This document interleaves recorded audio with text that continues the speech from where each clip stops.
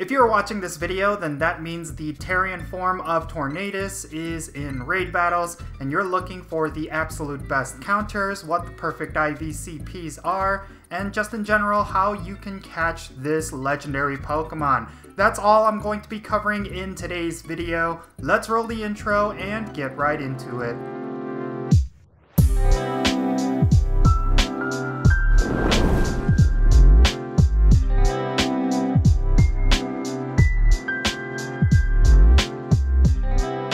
How's it going everyone? It's me, it's Count here with a brand new raid guide video. Today I'm going to be covering the Therian form of Tornadus. This is the slightly more powerful version of the regular form Tornadus.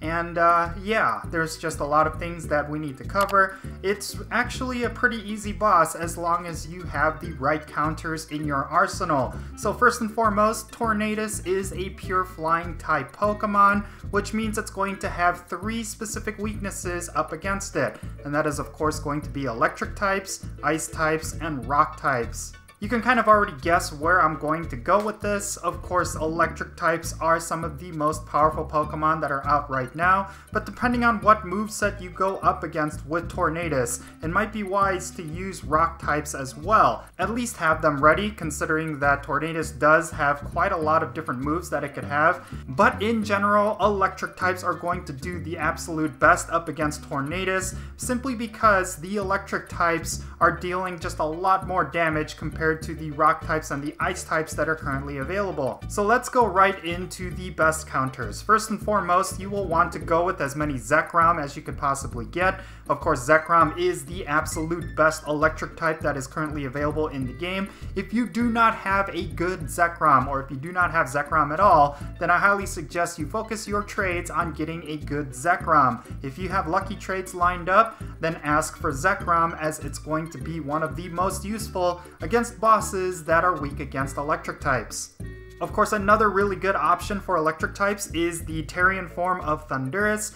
This is of course another really powerful electric type. It's going to dish out a lot of damage, and it's just going to eke out Pokemon like Raikou, mainly because it does have that dual flying type, which means it's going to resist a lot of Tornadus' moves. And in terms of Mega Evolutions, Mega Manectric as well as Mega Ampharos are going to be really good here, specifically because they are Mega Evolutions with electric types. So of course they're going to boost up not only your damage, but the damage of your raid party as well. So of course, getting a whole bunch of megas in your raid party is definitely going to help, especially because Tornadus does require a little bit more damage compared to the other members of this trio, mainly because it only has the flying type. It doesn't have any kind of double weaknesses like Thundurus or Landorus, so that's something you have to keep in mind. And just like Thundurus, Zapdos is also going to be really useful here considering that it does dish out a lot of damage compared to the other members of the bird trio, and it does resist a lot of those flying type moves, so it's going to be really useful if you're going up against a Thundurus with both Gust and Hurricane. And I did mention it before, but Raikou is also a decent option if you are lacking a lot of different electric types. There's just a lot of really good electric type Pokemon out there that you could use up against this Pokemon, like even a Electivire is going to be a really good option. So yeah, your options are pretty open here when it comes to electric types.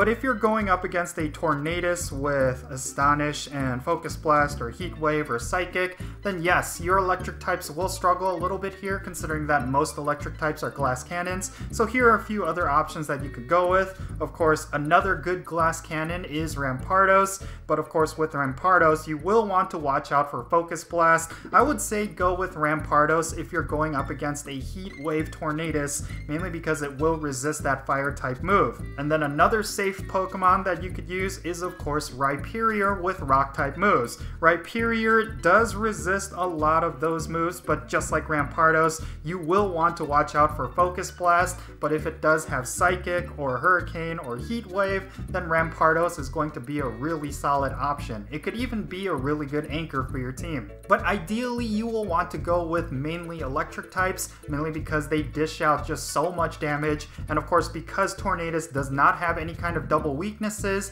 you will want to focus your teams on dishing out as much damage as possible. In the most ideal scenario, you will want to lead with either Mega Manectric or Mega Ampharos, and then have a whole bunch of Zekrom in the back. That is going to dish out the absolute best amount of damage, and Tornadus will go down really quickly if you have that team. Tornadus has a perfect catch CP of 1837, and if it's weather boosted, it will be 2296. Of course, Tornadus is a pure flying type, which means it's going to be weather boosted by one specific weather type, and that is of course windy weather. If you want to defeat this boss with a weather boost in your favor, then I highly suggest you go and raid Tornadus when you have the rainy weather boost, because that's going to boost up your electric types, or partly cloudy if you have a whole bunch of rock types. The Therian form of Tornadus, like I mentioned, is the beefier version of the incarnate form of Tornadus. It just has an insanely high attack stat, so you will want to make sure you pick up a bunch of these Pokemon.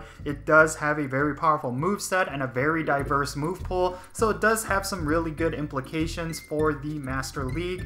And yeah, Tornadus is an absolute beast, so I highly suggest you do not miss out on this one. Of course, when it comes to flying types, there really isn't too many options that are currently out there. Tornadus is definitely a really good one, considering that it is a pure flying type, it's definitely going to be useful up against grass type Pokemon and fighting type Pokemon that are weak against flying types. I do think that this Pokemon is going to be extremely useful against fighting type raid bosses, and of course, if you are looking for a really hard hitting flying type Pokemon, then this is probably going to be your best bet. So if you do not have good flying types in your arsenal, like a Mega Pidgeot or different things like that, then yes, this Pokemon is definitely one you should farm up until you get that perfect IV. Plus it does have that really diverse move pool, so if you are lacking legendaries in general and you just want a really good option with some good charge moves, then this is another good Pokemon that you could get. Now if you are looking to defeat the Therian form of Tornadus with the least number of trainers as possible,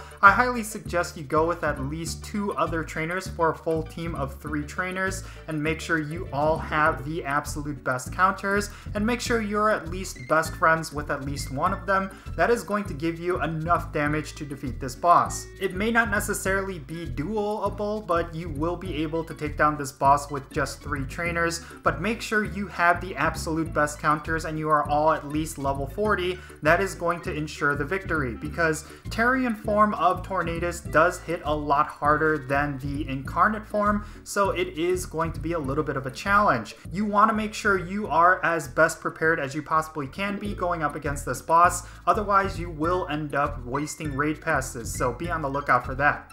So there you have it everyone, this is everything you need to know regarding the Therian form of Tornadus. I would love to know your thoughts on this raid boss down below in the comment section. Do you have a perfect IV Tornadus yet? I would definitely like to know. And yeah, if you enjoyed this video, make sure you hit that thumbs up button, subscribe if it's your first time here. If you found this video to be extremely helpful and you want to share it with your raid mates, make sure you do so. And yeah, that's really going to be it for this video. I am Count Jinsula. Be safe, have fun, and I'll catch you all later.